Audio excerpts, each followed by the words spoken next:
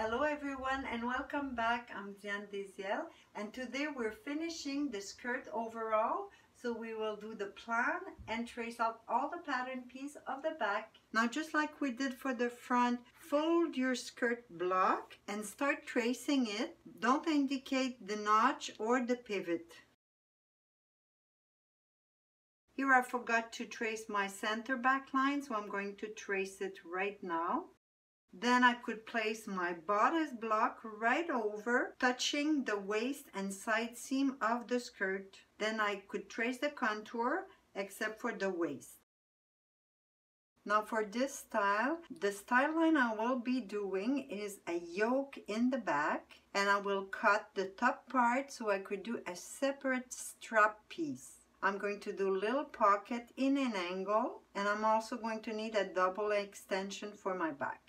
Now before to do the style line on my back, I'm going to report two level that I'm going to need from the front plan. And it's the opening on the side seam and also the top of the waistband on the front. So I'm going to report from the bottom, the bottom of the side opening and also the top of the waistband. Now for this one, I'm going to connect a straight line from the bottom of the opening to the top of the waistband level. I'm going to start by doing the little extension to match the one that we did in the front. So we have to do it the same measurement.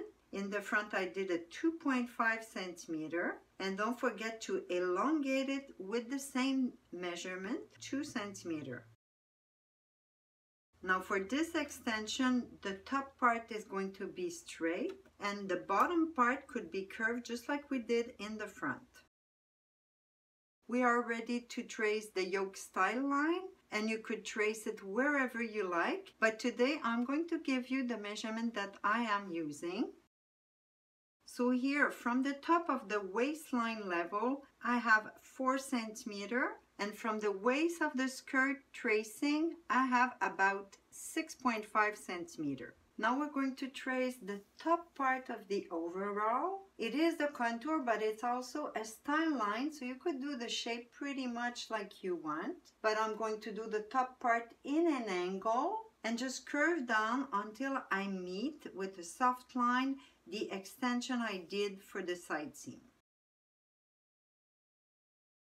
Now let me give you the measurement that I use for this size 10 women overall. From the original neckline, I did drop it 11 centimeter and then I went another 4 centimeter down to create a point and at this level I put 7.5 centimeter. Then it's just a curved line that is continuing with the extension. Now to be able to trace the strap piece, you're going to need your front again that you're going to fold at the shoulder line.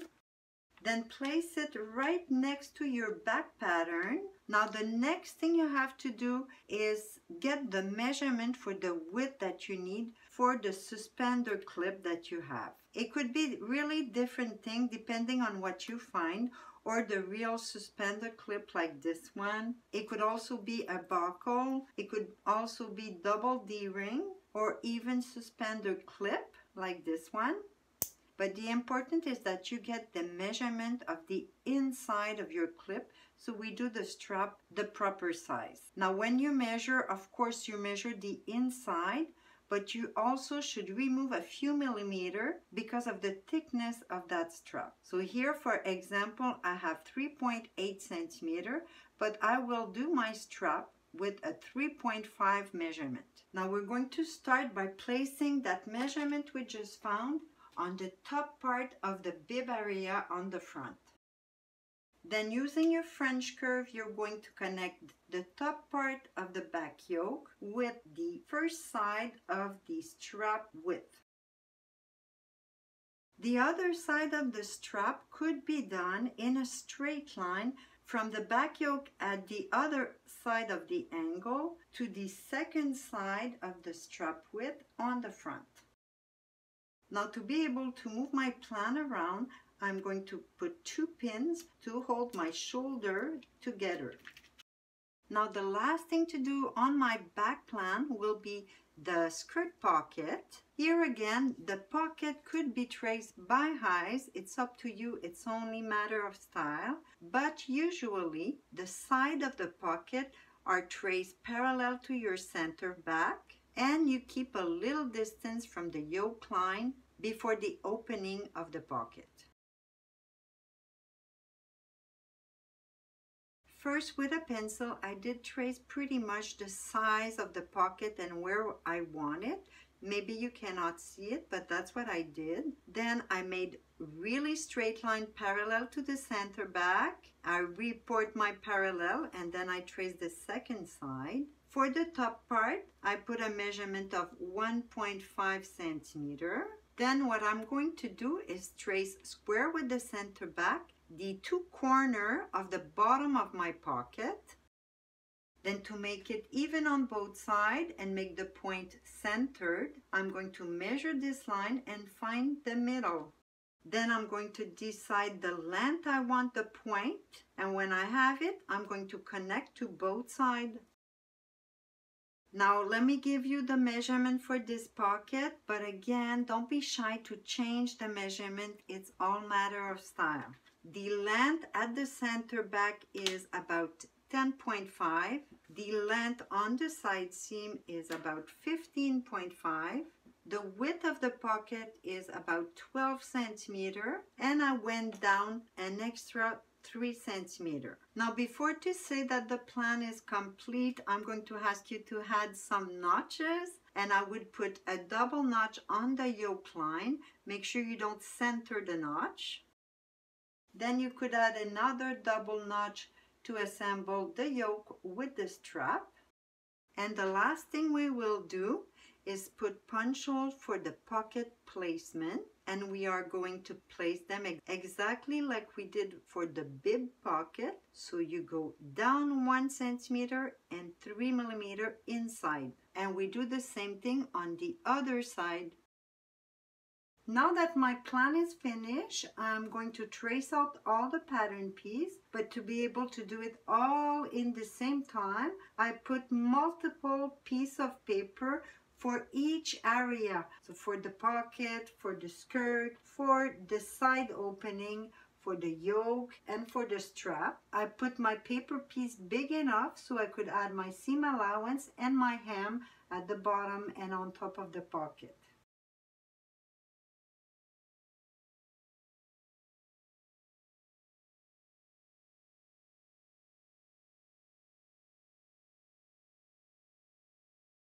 Now I will be able to add my seam allowance and hem on each of these pieces. And I'm going to start with my skirt part. So I'll be adding a 4 centimeter hem and a 1 centimeter on the rest on the three other line of the contour.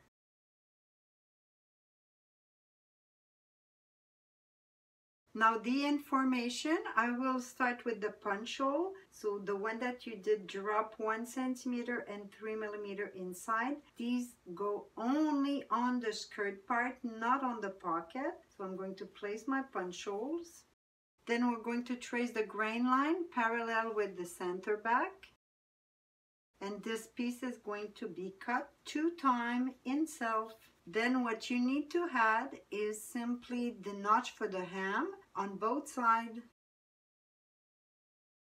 We will continue with the skirt pocket and we will add the hem on top, so at the opening. We could do a hem of 2.5 centimeter and then your normal seam allowance, so one centimeter on the, the four other side.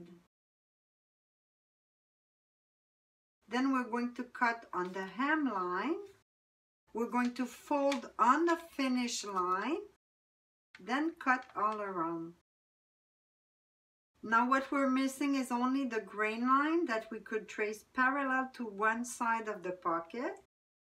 And this piece is also going to be cut two times in self. Now we're going to do the opening piece. And if you remember from the plan, there's a curved side. So I want you to fold on the straight part of that side of the opening piece. Then you'll be able to add the seam allowance. Now here's my piece. I simply duplicate my notch so I did it while my pattern was fold to get it on both sides and the grain line could be right on your middle line and this piece is cut two times in self fabric. Now we have the yoke piece that is going to need seam allowance so it will be one centimeter everywhere except on the curve line where you're going to put 1.5 centimeter to be able to roll twice.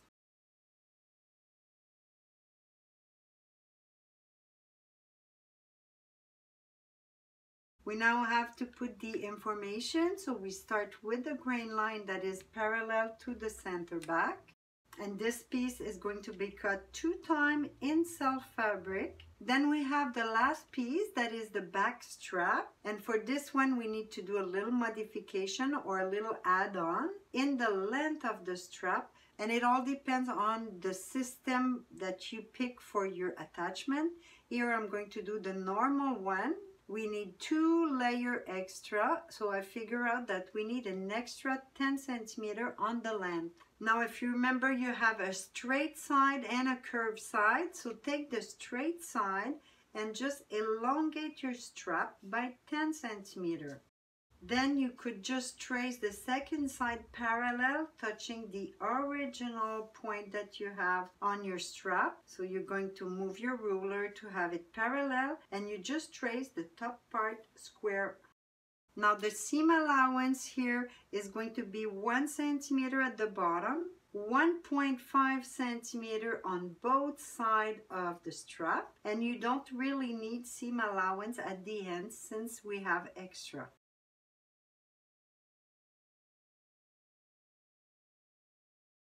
Now we're going to take the pieces again and we're going to cut a few corners so it's going to be easier for your assembling.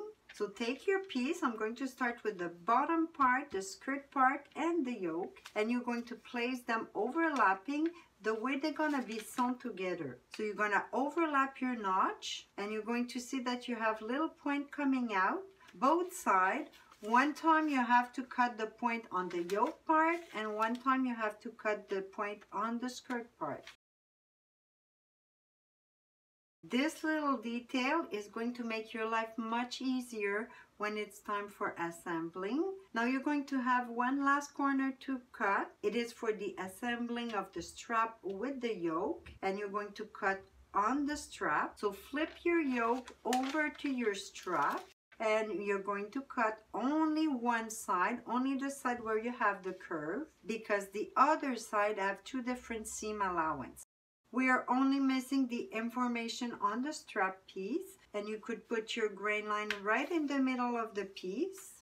And this piece is also going to be cut two times in self. Now just to make sure that we're not missing any pieces, we should have the back skirt piece, the back yoke, we should have the pocket, the strap, and the opening piece. That's it for today. I hope you enjoy. Make sure you're coming back for the assembling of the skirt overall. Thanks for watching and I see you next time.